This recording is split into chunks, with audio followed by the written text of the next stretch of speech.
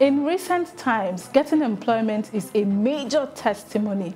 Getting a fantastic job, that's a cut with all the cream. So in what world does anyone ever leave that sort of job? Well, in this world. Not Your 9 to 5 show covers all the seemingly questions and intrigues I can't work for anybody. Oh. Number of times I spent with shoes, I, I see shoes in my dreams sometimes. I can't even, I can't be waiting for salary. I know we have a lot of challenges. Working for people is like starting from the scratch. We have political issues, we have socio-economic issues, we have so many, we even have spiritual issues. I don't think I can do 9 to 5 anymore. So this is not your regular 9 to 5. It's my life, it's my life, my world.